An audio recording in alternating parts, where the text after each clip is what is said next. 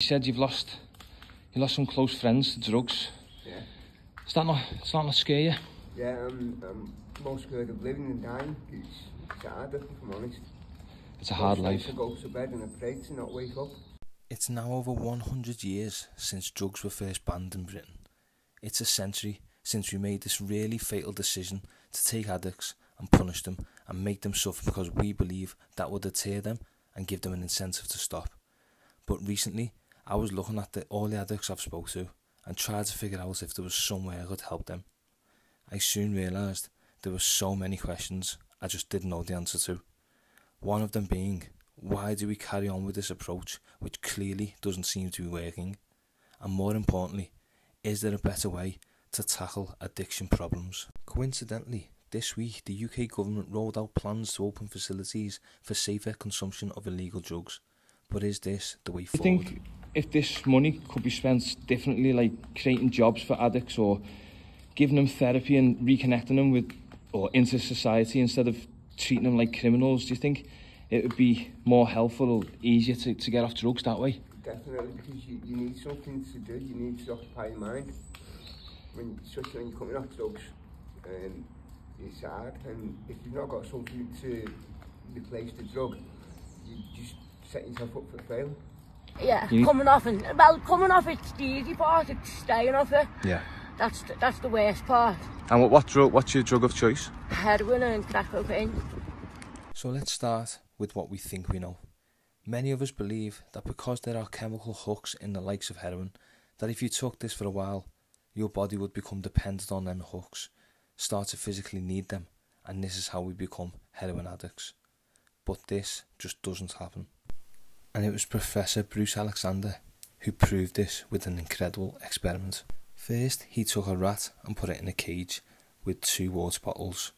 One is just water, the other is water laced with heroin. Almost every time you run this experiment, the rat will become obsessed with the drugged water and keep coming back for more until eventually it kills itself. But in the 1970s, Professor Bruce Alexander noticed something odd about this experiment. The rat is put in the cage, all alone, it has nothing to do but to take the drug. He wondered what would happen if we'd done this differently.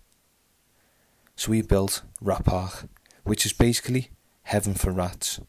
He built a cage filled with rat toys, lots of tunnels to run around, plenty of friends to play with, and have a lover, if you like.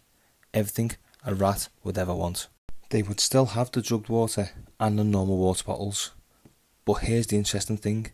In Rat Park, rats hardly ever used the drug water. None of them ever used it compulsively, and none of them ever overdosed. But maybe this is a quirk of rats. Well, healthily, there was a human experiment along the same lines the Vietnam War, where 20% of American troops in Vietnam were using a lot of heroin. People back home were really worried because they thought there would be hundreds of thousands of junkies on the streets of the USA when the war was over. But a study followed the soldiers home and found something interesting.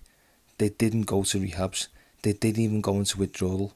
In fact, 95% of them just stopped when they got home. So, what does this teach us? It tells us that what if addiction isn't about your chemical hooks? What if addiction is about your cage, about an adaptation to your environment? Do, do you think if this money could be spent differently, like creating jobs for addicts or giving them therapy and reconnecting them with or into society instead of treating them like criminals, do you think it would be more helpful or easier to, to get off drugs that way? Definitely, because you, you need something to do. You need to occupy your mind.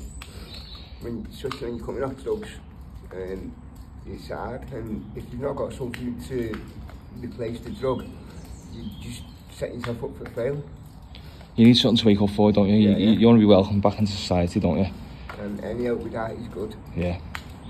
Is treating addicts with shame and punishment, putting barriers between them reconnecting with society? This system clearly makes addiction worse to me.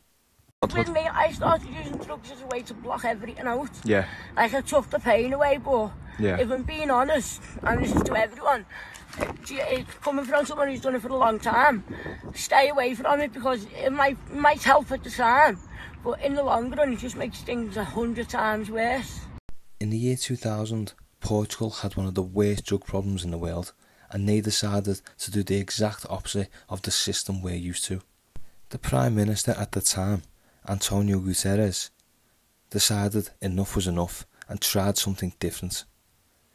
He decriminalised all drugs.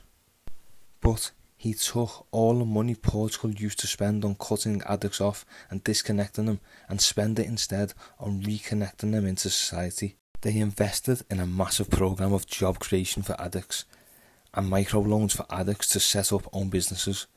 The goal was every addict in Portugal had something to get up out of bed for in the morning.